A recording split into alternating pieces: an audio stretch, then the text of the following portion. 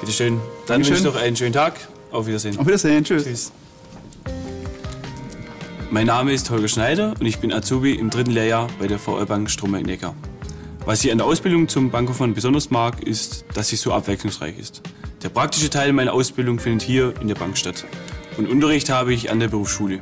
Es macht mir Spaß, mit den Menschen ins Gespräch zu kommen, zu erfahren, was sie bewegt, was ihr jeweils Anliegen ist und Lösungen zu finden.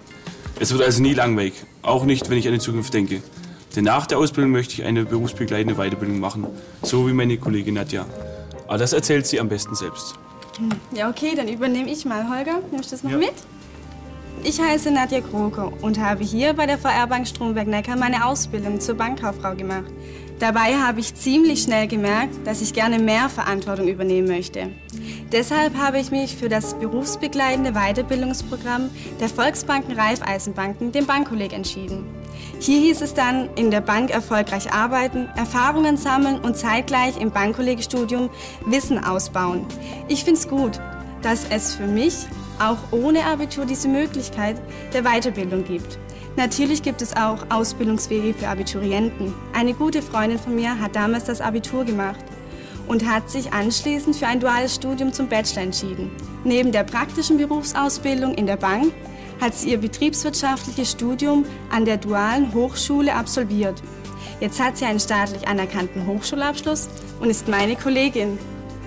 Was ist, redest du über mich?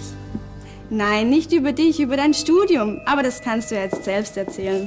Ich heiße Katharina Reiling und ich habe mich nach dem Abitur für das duale Studium zum Bachelor entschieden. Ich habe in kurzer Zeit viel gelernt, auch viel Wissen umsetzen können und das alles ohne auf weitere finanzielle Unterstützung angewiesen zu sein. Durch meinen Abschluss habe ich jetzt die Möglichkeit, innerhalb der Bank schneller aufzusteigen und Einblicke in die internen Bereiche zu gewinnen oder irgendwann eine Führungsposition zu übernehmen.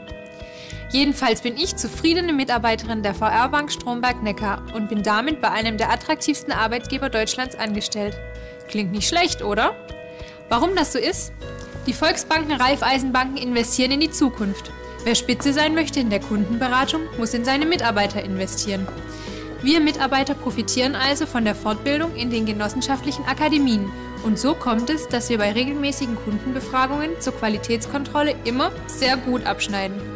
Und wenn ich mir unsere Azubis so anschaue, bin ich mir ziemlich sicher, dass sich das auch in Zukunft nicht ändern wird. So, Jascha, Sparschwächen, ich will leer. Dann bis zum nächsten Mal. Ciao. Tschüss.